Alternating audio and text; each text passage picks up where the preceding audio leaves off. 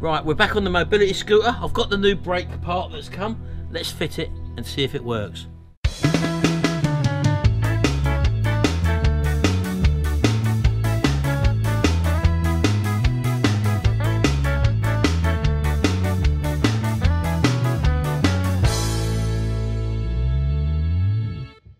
Right, okay, those of you who saw part one of this video, uh, this was the brake, the offending article, and I didn't know anything about this scooter, as you probably know. Those of you who did notice that that bleeping noise I had was the actual indicator which was left on. I didn't know where the controls was. It in the on position, but apparently I was only gleaning information off of the internet where it said that uh, certain models of these scooters leave a, make an audible bleep uh, when there's a fault, and then you can trace the fault depending on what type of bleep it is. But apparently that didn't uh, equate to this wheelchair. That was the indicator left on, but that's another story as well.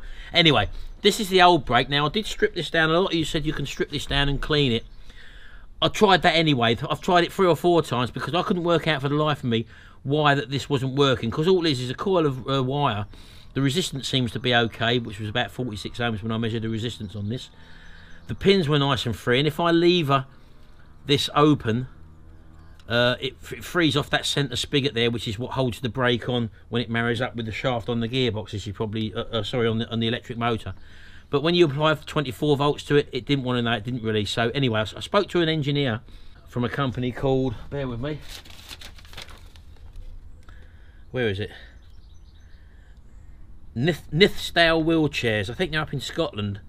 And because I was going to get a second-hand one of these. There's plenty, plenty of second-hand ones of these on eBay, for example, for about £60. And I thought, well, for for £60 you don't know what you're buying second hand a new one was £90 plus shipping which was about £96 uh, but again not knowing the exact one to get I thought it's best to speak to an expert. So I spoke to a wheelchair expert from that company I just mentioned and uh, I told him what I'd done that I've checked the resistance on it. I've I've uh, taken it apart. He said well we don't normally take them apart. He says when they normally go, that's it, they've gone. I said, well, I'm an engineer. I've been sort of, I, I, I was, it was only three screws. I said, I did take it apart and have a look inside. I said, I can't really see why it isn't working. He said, that's how they go. He said, all we do is literally just change them out. You can't repair them. If they go, that's it, full stop. Now, again, that didn't really sound true to me, but um, the proof is in the pudding. As you know, when I apply 12 volts, uh, 24 volts to this, let me show you. This is the old one, don't forget.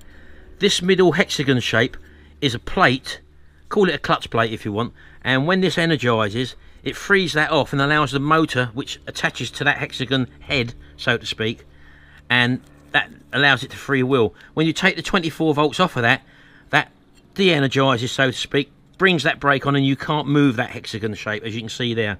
So that wasn't moving full stop even after I'd stripped it down and cleaned it and uh, that, that, that definitely doesn't work full stop. You're not supposed to lubricate these anyway anyway this is the new one and as you can probably see the body is a lot larger. This is why I really wanted to speak to someone who knew what they was talking about. And uh, apparently this is the new type. This is what you call the Mark II for the Shoprider. It's for medium to heavy grade uh, electric chairs. And as I say you can see it's physically a lot bigger than this one. So if I was choosing one off eBay I definitely wouldn't have chosen this one. I would have gone for one for that looked like this. These holes here do marry up with the original plates as you can see and all you need when you buy this they give you longer screws because the screws for this one that bolt this on as you can see are literally just little short ones. They have to go through the whole body here. So the proof is in the pudding. This one when you apply 24 volts to it doesn't free off. And let's just check this one. Right so here's our where is it? Here's our lead. And this literally just plugs straight in to the connector like that. Shao, can you come here for a minute? Shao's just coming over. I'll ask her to energise it. As you can see, the hexagon shaped thing there is not moving. I can't move it at all. I've got the axle up in the air, as you know, and we're just going to pull the lever, pull the little, turn the key on first. Let me just get this on the side and I'll come straight for you. Turn the key on. That's it. Now pull the, the lever. Yeah, you watch this. Go on. Uh, did you see that free off? Look. And as you can see there, that is now flapping free, which allows the motor to spin. Let the handle go. And as you can see, after a second, it de-energizes and it's gone back solid again. That is the electric brake. That's what was broken. We couldn't fix the other one. This is an upgrade one. This is for a Mark II. Let me just show you this. Hold on. Stay there. Look, at you go now, baby. Yeah, hold on. hold on. Bison, go away. Bison, what are you doing? Go on, off you go. Everyone's coming up, look. Hello. Hello, everybody. Say hello to everybody, Harry. Hello. I forgot what I was doing now. So all I've got to do is to reroute this cable where it belongs. No, no, no, no.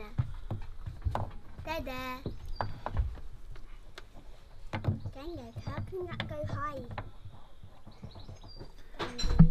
like that and get the longer screws this time.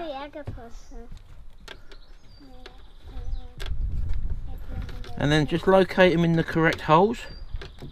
There we go. Shaq, can you pass me a Phillips screwdriver darling? Darling. yes darling. Just lo locate these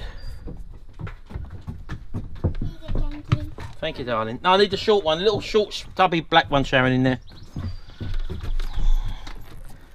now there's a few holes going around here so you just got to make sure you get the right ones Explain the description of it.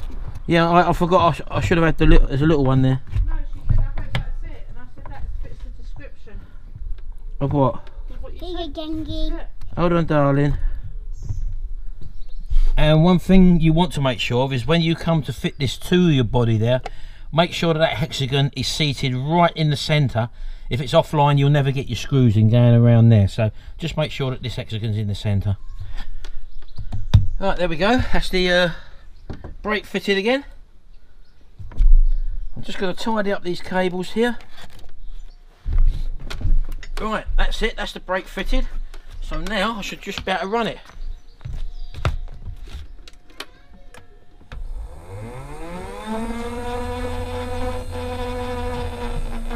Absolutely fine. Perfect. There we go. Job done. So yes, our diagnosis was correct, and with this model we needed an upgraded one. This is the one I actually got. As you can see, it was a Shoprider electric brake Mark II. There's the product ID number there, and it cost me £90 plus £6 shipping. And that come from this company here, Nithsdale Wheelchairs. I will say that I ordered this yesterday afternoon, about half past two in the afternoon, and it's come this morning the very next day. So very good service there. I'm very pleased. The chap on the phone, as I said, he was very helpful. Told me to go for the upgraded one, and that's exactly what we've done. We've cured the problem now. So I'm going to drop this down, put the case back on, give it a little test ride. See you in a minute.